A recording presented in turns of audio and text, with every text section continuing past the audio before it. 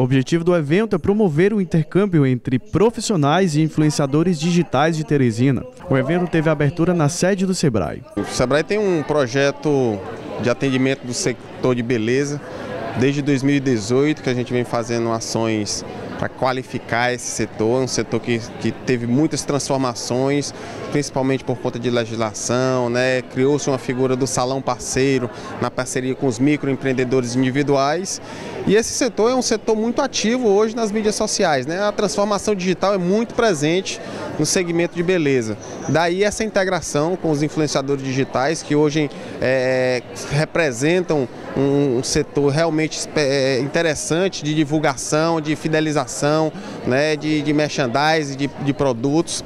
E a proposta é justamente a gente fazer essa integração para que a gente possa não só integrar as empresas de salão de, de, beleza com os influenciadores, mas a gente também criar um padrão né, de divulgação, de relacionamento entre, entre, entre, esses dois setores. Nomes como Beatriz Menezes, Gabriela Fortes, Sana Moraes e Raquel Menezes destacaram a importância de divulgar e gerar engajamento para os empreendimentos da beleza. Eu acho muito bacana que é, o Sebrae e várias outras empresas estão trazendo a importância do influenciador.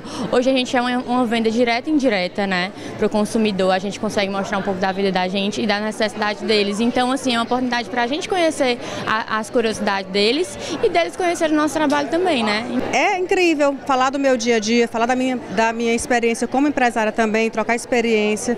Com certeza, maravilhoso. É sempre muito promissor. É, os eventos que o Sebrae trazem são diferenciadores importantes tanto para os empresários quanto para a gente como influenciador. Assim a gente pode mostrar mais um pouco de como funciona o nosso trabalho dentro das empresas, como que funcionam essas parcerias e mostrar que hoje o tanto que as redes sociais são importantes para a divulgação, marketing, né, desse trabalho tão bacana que eles fazem. O mercado da beleza hoje é um dos que mais cresce no mundo, o mercado cosmético, o mercado de maquiagem. Então, assim, é, as pessoas estão mais atentas sim. E o mais legal é, é que o mercado da beleza ele é muito eclético. Então, assim, tem para quem gosta é, de uma coisa mais natural, tem para quem gosta de para quem quer ser mais natural, para quem tem cabelo alisado, para quem tem cabelo crespo, para quem gosta de muita make, de pouca make. Então, assim, é um mercado muito eclético e que está em plena ascensão.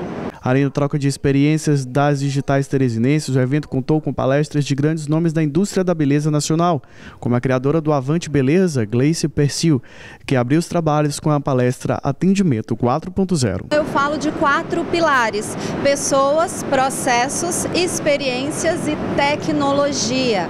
Não só a tecnologia, rede social, as mídias sociais, que todos estão tendo que aprender, desenvolver essas competências, mas também aquelas de automação, automação de marketing, de listas de contatos, um processo ativo de comunicação com clientes de salões de beleza, não só o processo passivo, que é comum há muitos anos nas recepções dos salões, é base do método Recepção 4.0, que é extremamente inovador para o mercado de beleza. O futuro do salão de beleza já começou.